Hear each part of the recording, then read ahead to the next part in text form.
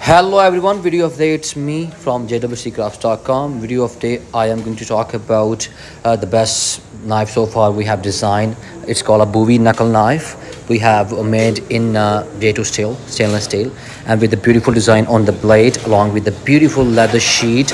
It's a horizontal leather sheet along with the beautiful material i have used for the sheet. It's a cowhide leather sheet one piece and if we talk about the blade options I have we do have an option for different materials and also different handle materials. If anybody is interested to have a custom order they can dm us and that's a that could be a best option for the christmas gift.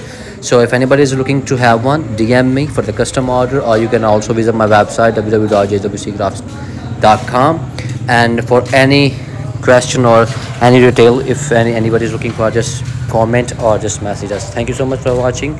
Stay tuned for the next one. Have a good bye